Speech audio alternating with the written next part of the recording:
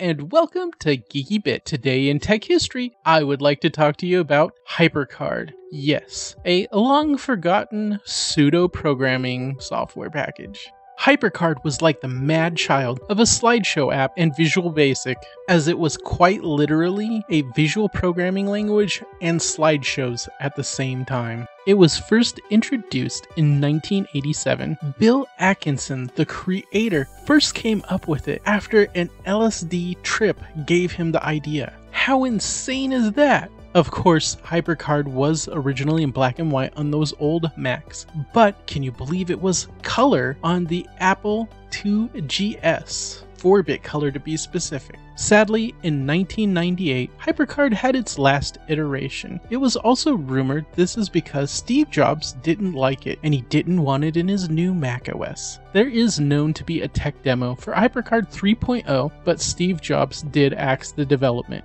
The reason most people believe Steve Jobs axed it is because creator Bill Atkinson did vote to remove Steve Jobs. And after Steve Jobs got back to Apple, he did stop the development of HyperCard 3.0.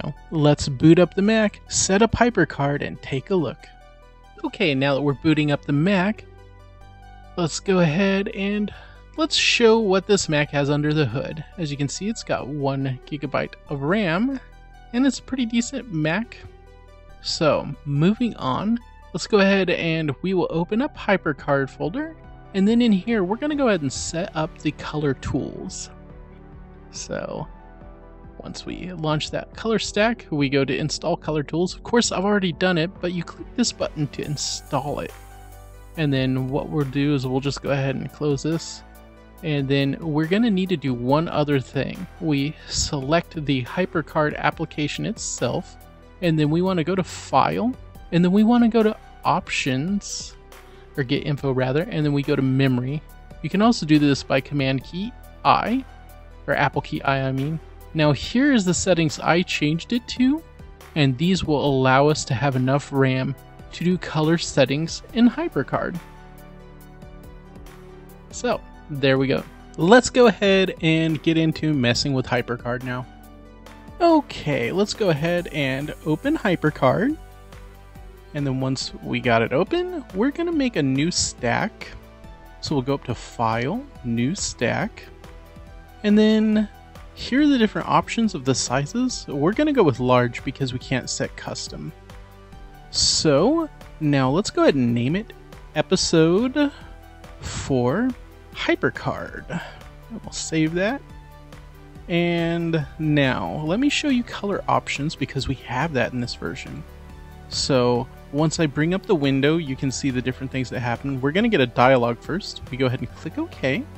Now here we can change the color of buttons, fields, we can add pictures, and we can do a few more things. But what we need to do first is actually add some objects. So we're going to go new button, and we're going to put this down here because I want this to be a last card button. So we have all these different options for what kind of buttons we can have. We can have pop-ups, uh, we can have radials, uh, we can have checkboxes, and what I ultimately want to go is with standard because I like it uh, the best for these kind of buttons. Now, let's go ahead and change its name. Obviously, it's going to be last card because that's what we're doing. And then we want to go to tasks. Now, under here, the task we want it to do is to go to the last card. So we're going to assign that task. And we're going to assign another task. And that is for a transition effect. So we'll go dissolve. And then I think I'm going to set it to very fast because I don't want it to take too long. Then we'll assign task. And then that's done. So now we need another new button. So we'll put it over here because it's going to be our next card button. And let's go ahead and select next for the task. And then let's do a transition for this as well. Uh, of course, we'll do a different transition. I think this one will work. And then we'll set it to very fast, like we did with the other one.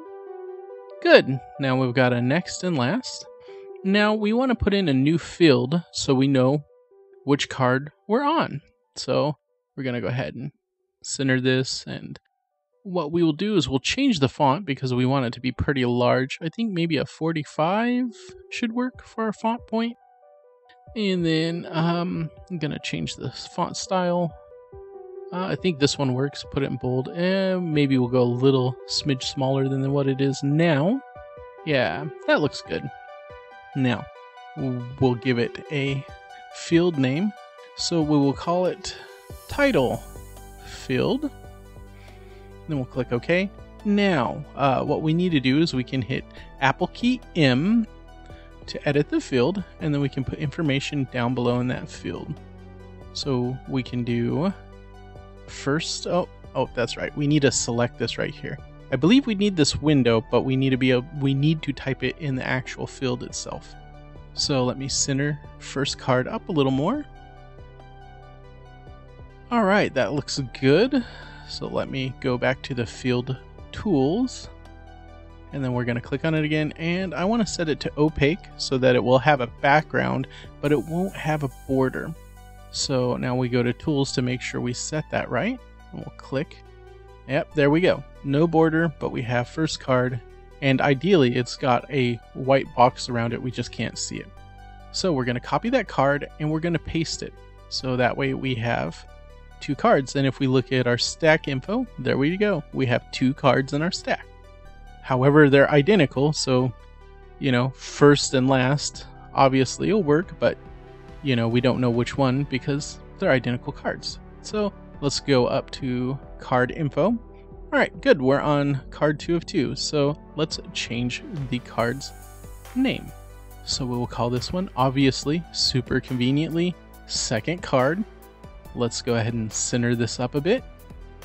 All right, now that we've got that done, we'll close this right here. And then let's click on this. Yep, first and second. Great. So our buttons are working. So let's go ahead and add some color options. So first, let's change the color of the field for our title. So I like orange, so let's go with that. That looks like a good shade. Now let's change the color of these buttons. I think a light blue would go good. I like that blue. Alright, now let's change this color. Um, I think a light red, almost a pink. Yes, I like that. So we're done here. So let's go ahead and we will go to a new field here. And there's a reason why I'm making a new field. It's super exciting. So I want to make these two cards a little more diverse, and one of the easiest ways is we can actually color a field. So what I'm going to do is I think I'm going to go with maybe a... Hmm, oh yeah, that color, I think I'll check that out. Let's see here. Let me select it again. Okay. Hmm, ah, you know what? Ooh, I like that green color. Oh, that is so putrid. Yes, let's go with it. Because we want this to stand out because we're doing color options. Okay. So, there we go. There's our field. Now we're going to set this to transparent. Now it'll retain its color, but we don't want it to necessarily show anything else. So there we go.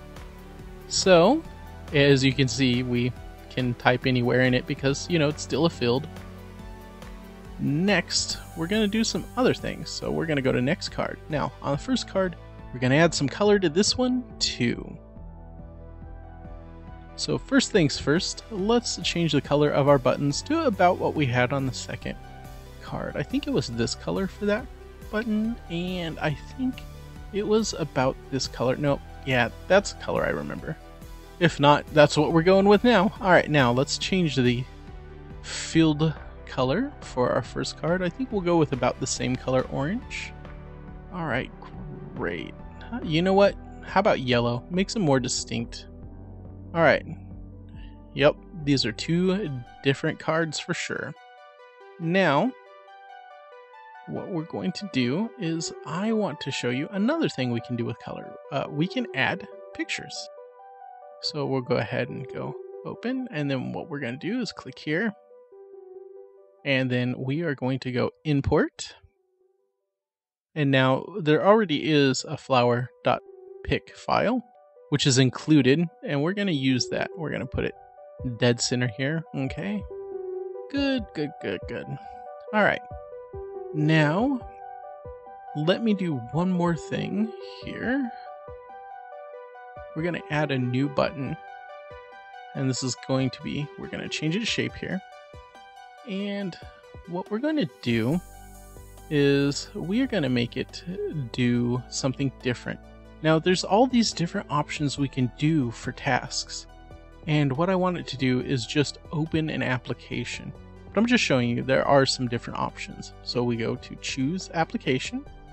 Now, what we're going to do is we're going to go into the application folder. And then I think we'll scroll down until we find an application that we want to use. So, oh, I think we'll probably end up using that simple text. Yep.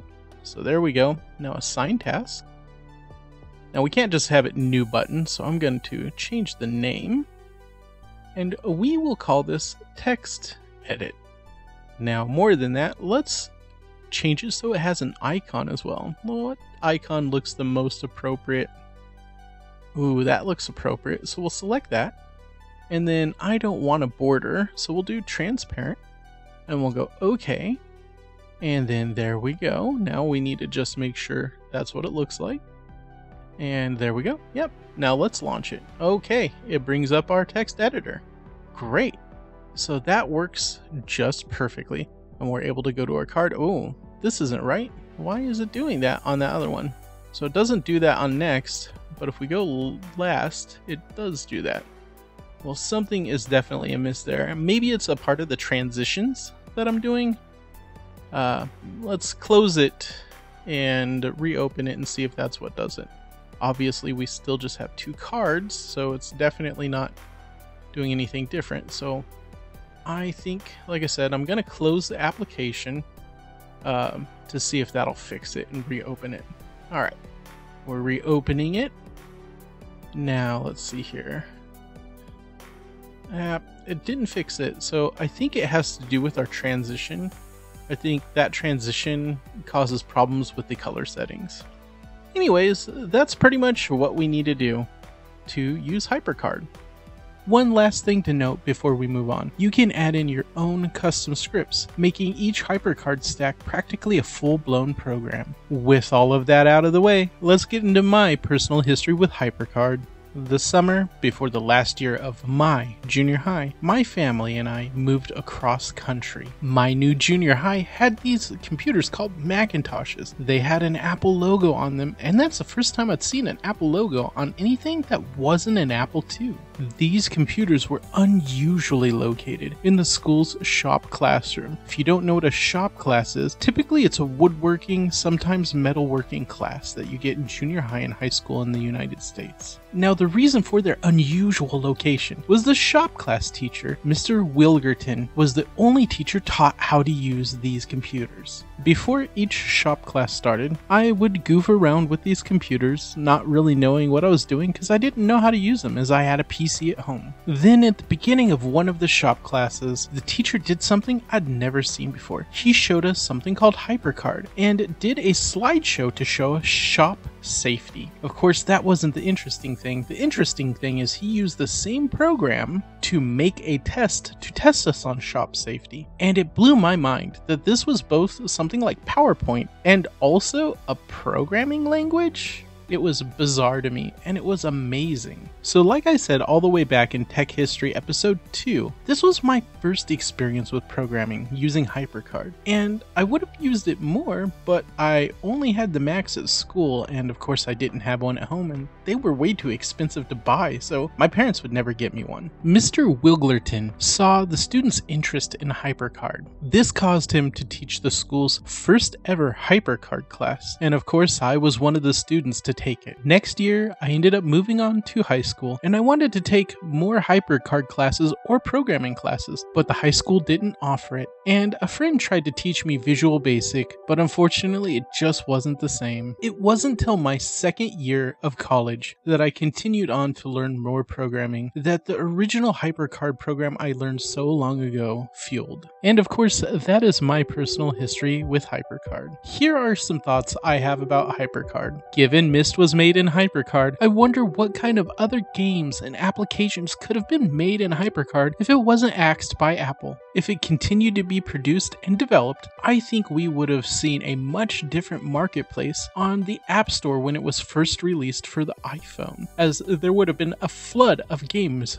made and applications made in HyperCard. As sad as Steve Jobs' passing was, with him no longer at the helm at Apple, I wonder if it's time to bring back HyperCard, as with as easy as HyperCard is to use, even beginners could make games and applications with it. Of course, I speak from personal experience. It is much easier to use than Visual Studio or even Game Maker Studio as well. Now would be an excellent time to reintroduce HyperCard for two reasons. One, they're changing platforms to the new Apple Silicon Macs, and two, there are a lot of people currently at home wanting something to do, and having this new application or refreshed application would be amazing. If they did decide to reintroduce HyperCard and gave it more exporting options, and of course the ability to not just do scripting, but full blown Object C, it would be an amazing programming and development tool for people that are beginners and experts alike. Thank you for watching this episode of Tech History, and I hope you enjoyed it as much as I did making it. Of course, if you do like it, feel free to like it, and if you aren't subscribed already, please click that subscribe button. And if you want to get notifications of my new videos, go ahead and click the bell button so that you do.